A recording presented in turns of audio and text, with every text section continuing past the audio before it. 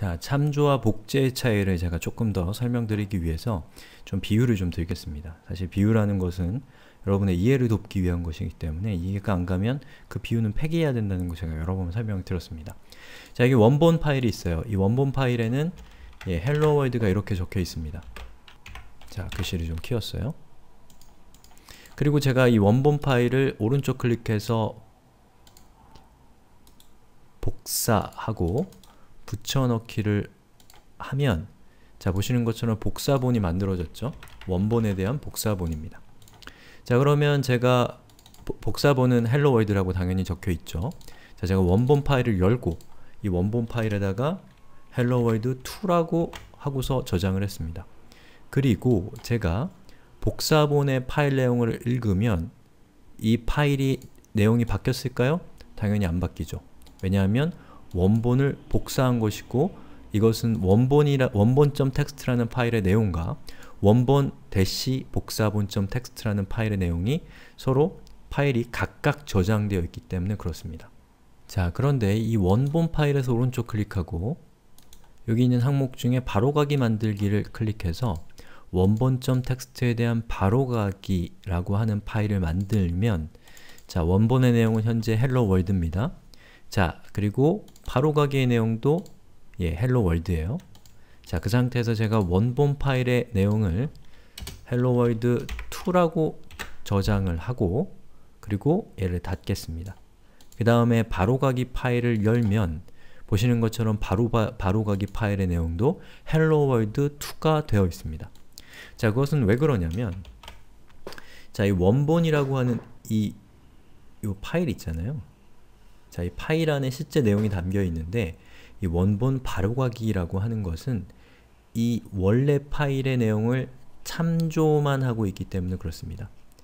그렇기 때문에 여러분이 실제로 원본.txt라는 이 파일을 연다라는 것, 수정한다는 것은 결국 원본에 있는 내용을 수정하는 것과 동일한 효과를 갖기 때문에 여기 있는 바로가기 파일은 이 원본.txt라는 파일과 정확하게 동일하다는 것이죠.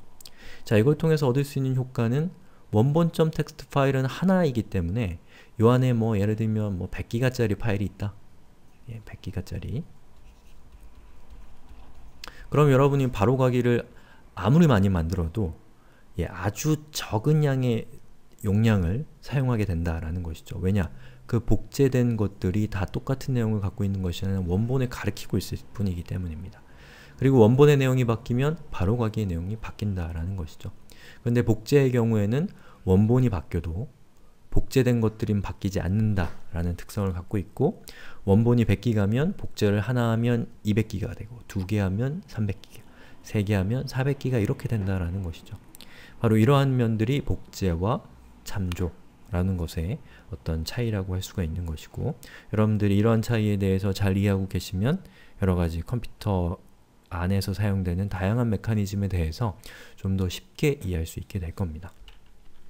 자, 그래서 그림으로 정리를 해보면 자, 데이터 타입이 기본 데이터 타입이 아닌 변수에 여러분이 어떠한 값을 담는다라는 것은 결국 이 값은 메모리 어딘가에 만들어지고 그 변수는 이 변수 자체는 그 인스턴스의 값에 대한 참조만을 하고 있는 겁니다.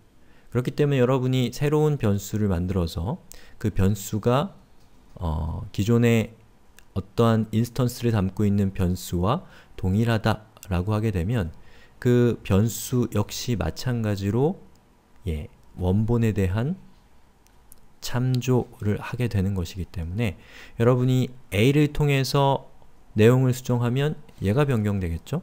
그 얘기는 B를 통해서 얘를 수정한 것과 동일한 효과가 나기 때문에 어, 이 같은 instance를 참조하고 있는 변수들은 언제나 동일한 내용을 갖고 있게 된다라는 것이죠. 그래서 정리하면 여러분이 기본 데이터형을 가지고 있다면 그것은 예, 각각의 변수들이 그 기본 데이터형의 데이터를 직접 가지고 있다 라는 것이고 여러분이 참조 어, 기본 데이터형이 아닌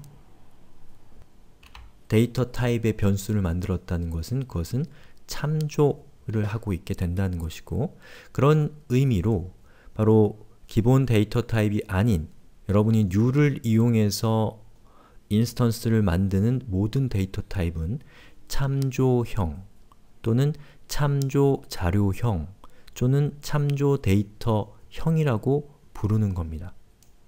자, 이렇게 Java가 동작하는 것은 어, 참조라고 하는 것이 컴퓨터의 메모리도 훨씬 더 덜 사용하고 그리고 원본의 변화가 모든 참조 데이터형에 반영된다라는 바로 그러한 어, 특성을 이 수용한 결과이겠죠. 그래서 여러분이 어떤 경우에 복제가 일어나고 어떤 경우에 참조가 일어난다라는 사실을 잘 이해하시면 자바를 사용하는 과정에서 겪게 되는 여러가지 혼란에서 어, 훨씬 더 중심을 잡기가 좋을 겁니다.